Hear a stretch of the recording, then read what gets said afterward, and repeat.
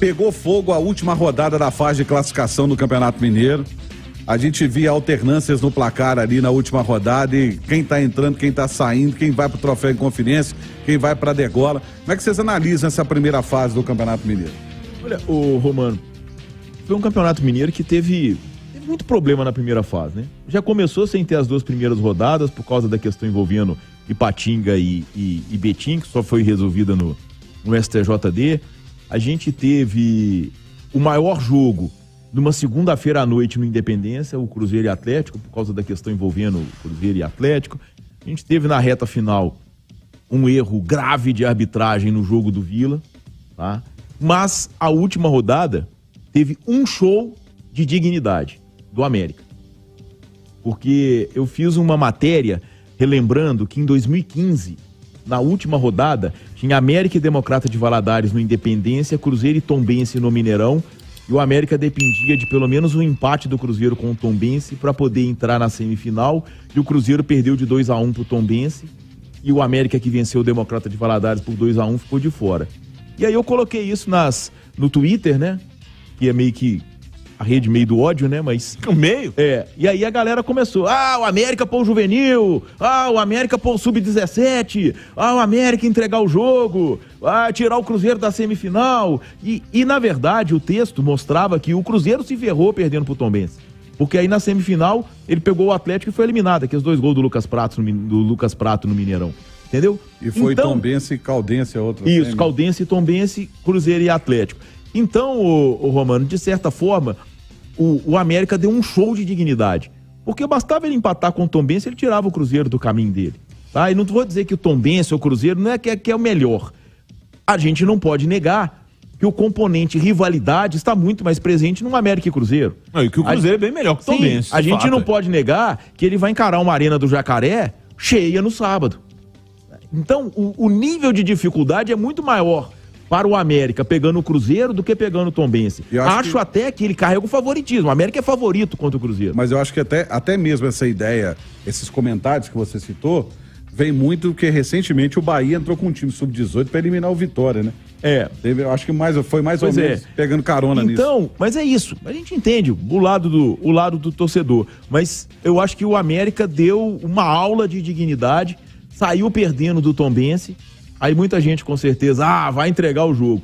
Foi lá, virou a partida, dois gols do Elton Paulista. Até porque o Galo já estava ganhando de 2, 3 a 0, o América não tinha chance de ser o primeiro. Entendeu? Então, eu acho que o campeonato termina com o, o, o América meio que salvando a pátria e dando uma aula de dignidade com esse empenho para virar o jogo contra o Tombense, que tem um bom time. É um time de Série B de Campeonato Brasileiro. É, mas para a Série B vai ter que reforçar, Sim. viu? O time do, do em, é, nível Série B o Tombense, eu sou muito bairrista com relação. Eu torço pro Tombense na Série B, pro, torci muito pro Pouso Alegre na Série D. Vou torcer agora para ele nascer, os, os mineiros na Série D. Mas, tanto Pouso Alegre quanto Tombense precisam reforçar seus elencos, porque senão é bater e voltar. É bater na Série B e voltar para a Série C, no caso do Tombense, e bater na Série C e voltar para D, no caso do Pouso Alegre. Se não reforçar com jogadores de qualidade não quantidade, qualidade, vai bater e vai voltar, porque mostraram futebol muito fraco, muito fraco. Eu me surpreendi negativamente com o Tom Benson. Eu já tinha visto os jogos deles na TV, que eu acompanho, você sabe disso, que eu acompanho os jogos. Mas eu fiz o jogo em loco e foi, assim, triste de ver o que eu vi. Mas tem um detalhe: é, o Alexandre falou da dignidade. Eu acho que a maior prova de vontade de ganhar o jogo, Léo, foi o que o Wagner Mancini fez. Trocou os atacantes, colocou o atacante descansado para ganhar o jogo. É, o, o, que, o, o que aconteceu nessa rodada final, eu, eu não gosto do regulamento, eu acho ele um pouco confuso. É, mas eu tenho que, que reconhecer que a última rodada com esse regulamento ficou legal. Tinha um monte de gente é, dependendo de resultado um do outro, um monte de coisa valendo, beleza.